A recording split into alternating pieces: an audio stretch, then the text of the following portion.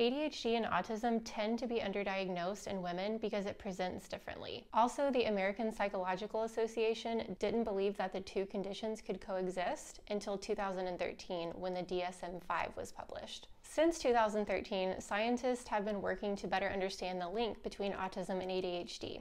Today we're going to define both of those conditions and explore what it feels like to be someone who deals with both of them at the same time. I can tell you as an autistic woman who also has ADHD that having these two things at the same time can make it feel like you're being pulled in two directions all day long. It can be a really exhausting experience that tends to lead to more autistic meltdowns or shutdowns. So make sure you stick around until the end of the video. I'm going to be sharing with you an 11 page meltdown survival guide that I have personally created and I'm really proud of it. It's going to help identify what causes meltdowns, what we can do to prepare for those moments, how to recover from them, and other resources that can help you manage those types of situations. I can't wait to share the information that I've been learning about when it comes to these two topics intersecting. So if you're ready, let's get started.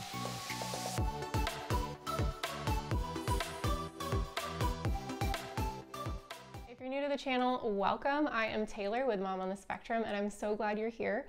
This community has been growing like wildfire, and I could not be more excited. I love connecting with all of you, and it's been so fun to see the comments pouring in. I started this channel about a year ago because honestly, I love talking about mental health. I believe it's so important to talk about, and it really isn't as big of a deal as people make it out to be. We all have unique challenges when it comes to mental health, and I feel the more we can talk about it and make it more of a normal conversation, the more help and relief and healing that becomes available. Also, I was just super frustrated about the lack of resources for autistic adults. I was diagnosed with autism at age 31 and ever since then, I've been trying to create as many things as I can for the autistic community so that others like me can feel less alone. If you haven't already, please make sure that you've subscribed to this channel. That's the best gift that you can give to help make sure that the channel keeps growing. Also, if you find the video helpful, please like it and also leave a comment below with some feedback for something that you may have learned or something that you'd like to add to the conversation. Even though the channel is growing really fast right now, I'm still able to read every single comment that comes through. And I just want you to know that I really take those seriously and I love learning from the community. The things that I learn from the comments really inspire these videos and help fuel a lot of the discussion behind them. I really do want to create resources that you need, so please let me know if you have any suggestions for future videos in the comments below. And if you haven't already seen the first video I did on ADHD and autism, make sure that you check that out. I'll put a link to that video up at the top. I'm not sure which side it's going to be on. In that first video, I'm exploring the seven different types of ADD or ADHD as defined by Dr. Daniel Amen. And to quickly address some of the comments from the last video, those seven types of ADD or ADHD are not something that you're going to find in the DSM-5, which is what most providers use to make diagnoses. I just find Dr. Amen's research fascinating He's used brain scans to develop those seven different categorizations of ADHD, and I find it very helpful to better understand my own brain. So just know if you're watching that video that you most likely won't receive an official diagnosis of one of those seven types of ADHD unless you were to go receive treatment at one of Dr. Amen's clinics. I just found that information really fascinating and helpful to me personally. But in all things, make sure that you do your own research and follow the information and research that makes the most sense for your life. And lastly, before we jump in, just a reminder, I'm not a doctor, I'm not a psychologist. This video is not intended to be a diagnostic tool for you, but rather to help better understand these conditions based on my own experiences that I'd like to share with you today. With that being said, I want to help you better understand your brain. I always like to add a reminder that these terms, ADHD, autism, OCD, bipolar, whatever it might be, these are human made terms, right? We're dealing with a whole brain and these terms have been created to help us identify certain challenges associated with different presentations of the brain. But these terms are imperfect, they don't catch everything. They overlap with other terms. And at the end of the day, my advice is for you to use whichever terms help you better understand yourself and empower you to live a truer, more authentic version of your own life.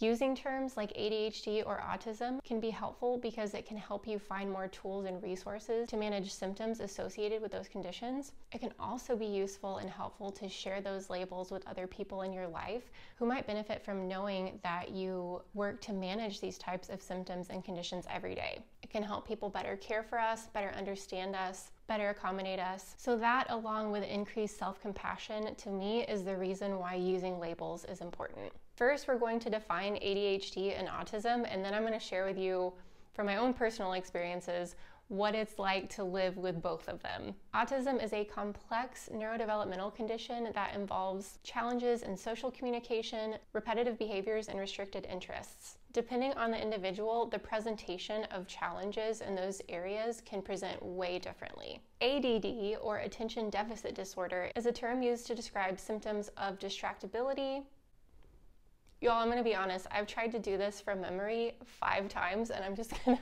hold the paper because I have ADHD and I can't remember the definition. ADD is the term used to describe ADD is the term ADD is the term used to describe symptoms of inattention, distractibility, and poor working memory. Ta-da! ADHD ADHD is a term used to describe additional symptoms of hyperactivity and impulsivity. And that H, I think, is what gives women a lot of trouble because many times ADD or ADHD it presents without the hyperactive component. So, in a school setting or a public setting, we many times tend to draw less attention to ourselves than someone of another gender. And that can cause many of us women to go under the radar and not get a diagnosis because we don't seem hyperactive, we don't seem inattentive, we're following all of the rules. From the surface, it looks like we're doing everything correct, but internally, we're really struggling with these challenges of, let me look again, inattention, distractibility, and a poor working memory. I shared this in my last video, but I thought this statistic was very eye opening. According to some recent studies, 30 to 50% of autistic people also show signs of ADD or ADHD and about two thirds of people with ADD or ADHD also show signs of being autistic. So there's a huge overlap in these two areas. Now, as I jump into some of my own experiences with having the combination of these two conditions, remember that it can be kind of hard to pinpoint this is ADD and this is autism there's overlap. We're still learning how to spot the differences and similarities between the two. But overall, there's kind of a general consensus with these issues that I'm about to share of what is more ADHD and what is more autism related. So, first of all, our nervous system. This is a category that I wanted to make sure to hit. Being an autistic individual, our nervous system tends to become dysregulated pretty easily. I would say for many people on the spectrum, it tends to be more of an overstimulation of the nervous system rather than an understimulation. And with ADHD, we tend to feel more understimulated. We need more challenges, we need more activities, we need more adrenaline. We need to push into a higher gear and go. But with autism, we tend to become overstimulated more easily. So noises can become too much lights can become too bright. And as I'm sitting here filming all these lights around me, I'm just like, whoa, it's really bright. Smells can be too overpowering if you just can't work next to the woman in your office who wears that perfume that is completely overpowering. Those types of things can dysregulate our nervous system very easily. So there's this push and pull as someone with ADHD of like, let's go, let's conquer, let's learn new things, let's go kayaking. And then the autistic side of the brain is like, all right, well, that sounds kind of like a big deal. Like, I think I might need to stay here at my home base under my weighted blanket because that sounds pretty great too. So it's a really big push and pull where sometimes you just don't know what your body is wanting from you. Number two, special interest. This is something that I found really fascinating. I think it might have been Purple Ella who was sharing about this, but having ADHD and autism, it's been confusing because I have a lot of special interests. So, someone on the spectrum, you've probably heard that we tend to have special interests where we kind of just like go into a black hole and all we want to do is learn about our special interests and work on it. My special interests change a lot. I have a lot of musical instruments that I've purchased but never learned how to fully play. And so for me, it was kind of confusing to nail down, like, oh, those are still special interests they're just not lasting very long because the ADHD side of my brain is like, let's do something else. So I know someone else like this where it will look like, okay, I'm gonna go learn Chinese, and then they'll take these Chinese classes and they'll be like 200% into it, and then one day they just completely fizzle out and they're like, I'm done. The third thing is routine. This can be really complex with ADHD and autism because with autism, I really crave routine and that feels really safe to me.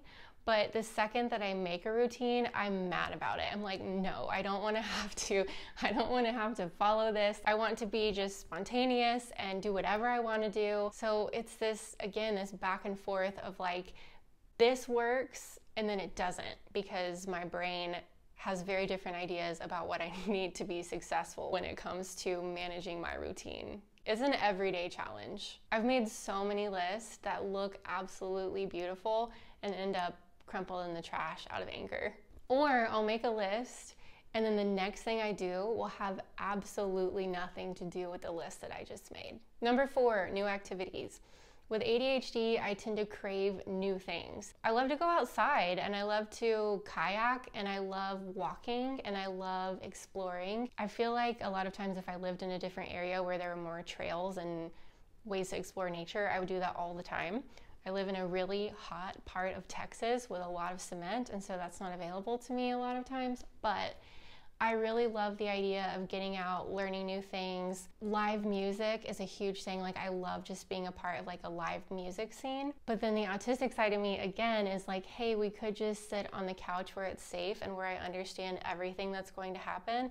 And I can just work on regulating my nervous system and not talk to anyone, not hear any loud music, not do anything new, which kind of leads me to the next point of decision making. Very difficult topic with ADHD and autism. A lot of times it can feel like spinning out, just perseverating on one topic. If you haven't heard that term before, it's more closely related with autism. So, perseveration is intensely focusing on one thing and not being able to shift gears off of it. So, with decision making, it can feel like I don't know if I want to go outside or stay inside. I don't know if I want to do something new or just read a book. And then you just sit there and you don't do anything. And it's so frustrating. It also makes me feel like I want to have a plan and I want to know exactly what's going to happen. And I like planning for ways that the plan might go wrong and having all these backup options. But then I also just want to go with the flow and not worry about anything and be completely spontaneous and not have a plan and not worry about things going wrong. So again, it's just like it's this exhausting feeling of being in the middle, like looking at my brain and being like, what do you want from me? Number six, learning can be really difficult with both of these two conditions. So, with autism, I feel like there's more of this drive to research. That's something that I've really connected to a lot of y'all about is this desire just to research and to know and to pursue knowledge and with ADHD, there can be this difficulty to retain information. Again, working with the poor working memory, it can make it really difficult. Like, um, once I'm learning new information, to be able to formulate it in a way that I can share because it's like I can't hold that new information in my brain long enough to do anything with it. So that becomes really frustrating for me, especially even working on this channel. Like, I'll have all of this great new knowledge and information that I want to share, but then actually formulating it and coming up with a plan, it's like I fizzle out. And then the ADHD side of my brain is like, I don't really remember anything that you just read, and it would be really fun to crochet right now.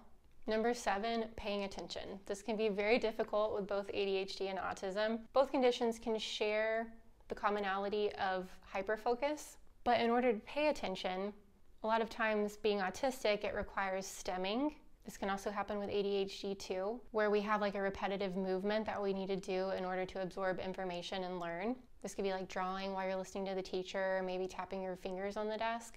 But then getting really upset about anybody else who does that, right? So, like the rule follower in you being like, they're not paying attention, they're doing something else, why are they doing that? Or your nervous system getting overwhelmed again because the person next to you is drumming on the desk and that's upsetting you because you can't pay attention. Again, the back and forth of like, I need to do this, but I'm also upset by the fact that other people might need to do this. and then lastly, number eight, staying organized. So, with autism, I feel like that lends more into organization. Again, the routine, the scheduling, it can make things feel safer and more manageable there can be a very strong need for organization. But with ADHD, it's very hard to stay organized. And I find that a lot. I really thrive on organization, but it's so exhausting to stay organized. And I tend to find that I kind of spin out trying to stay organized. Like I will spend a whole lot of time on organizing that to do list or organizing my workspace. And I'll spend so much time on that that I look up and I'm like, what have I been doing? And then I've used so much energy that I'm burnt out and can't do the things that I was gonna do on my to do list. It's a lot. It's like an everyday struggle, and I keep thinking, like, oh, I'm making progress. And maybe I am in some ways, but Honestly, I just think a lot of it is learning how to wake up every day and remind yourself that your brain's different and you can't compare yourself to how other people are running their day and getting things done because it just doesn't work that way for somebody who has ADHD and autism. You have to kind of find your own way every day. And it looks different every day. And that's okay. Frustrating, but definitely okay. So, to highlight some of the similarities between both ADHD and autism, both can entail trouble focusing in social situations, heightened sensory responses, difficulty regulating emotions, fixations or perseverations, which we talked about, and transitions can be really difficult. It's also very painful to be interrupted. I hate being interrupted, especially when I'm like in a special interest. And both conditions can also lend to long periods of deep focus on things that we're really interested in. So, overall, as I've stated several times already in this video, in general, there's this constant push and pull back and forth between ADHD and autism.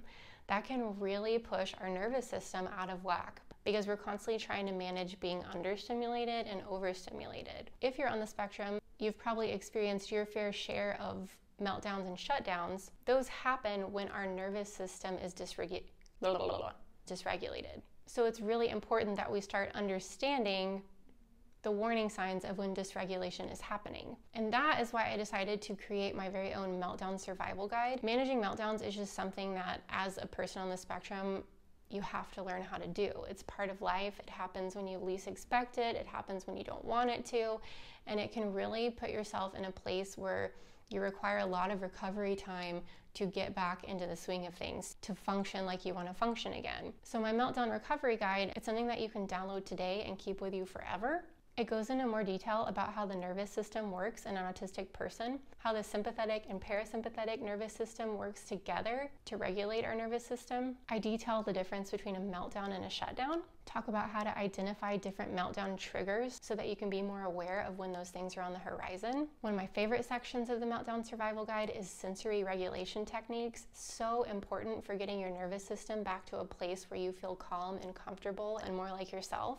I also added a special page on managing panic attacks because I've had my fair share of them and I've learned a few tips from my psychologist, my friends, and from personal experience that I feel like could be really helpful for you if that's something you also struggle with. And then I also include other helpful products and resources that can help you manage meltdowns and talk about how to prepare for future meltdowns. Because let's be real, they're going to continue happening. I'll put the link to the Meltdown Survival Guide in the description. You can also find it here at taylorheaton.gumroad.com. I'm really proud of an emergency card that I created that you can print out and keep with you for stressful situations in the event that you need to interact with a police officer or a medical professional. I sized it so that you could keep it in a small place like a purse or a glove compartment so that it's available for you to hand to someone like that in case of an emergency to help you communicate your needs. So make sure you check out that website for access to all of my downloadable content. As a reminder, please make sure that you've subscribed to the channel. That's the best way to help it grow. Give this video a thumbs up if it was helpful to you. In addition to those things, you can also support me at paypal.me slash mom on the spectrum. I'm extremely grateful to those of you who are able to donate to that. That helps me out more than you know. This channel is growing rapidly and I'm doing my best to stay on top of it, but every donation, every ounce of support, it really helps and I can't thank you enough. I'd love to hear from you in the comments what you thought about this video and anything that you'd like to add to the discussion. And I always like to add a final reminder that I truly believe that the brain that you have is beautiful, probably has plenty of challenges that it throws at you every day, but together we can learn how to better understand and manage those challenges and learn how to love and appreciate the brain that we've been given. I'm so glad you're here. Thanks for stopping by, and I will see you in the next video. Bye.